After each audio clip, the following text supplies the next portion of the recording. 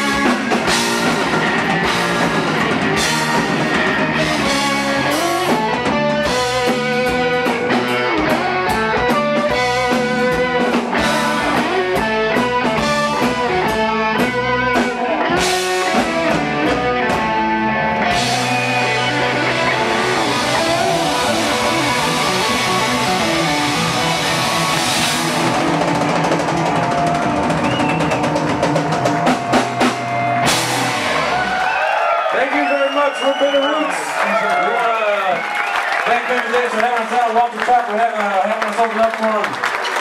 You guys are in for a good night of music. Thank you very much for Bitter Roots. Again, check us out, bitterroots.net on Facebook, all the social media sites.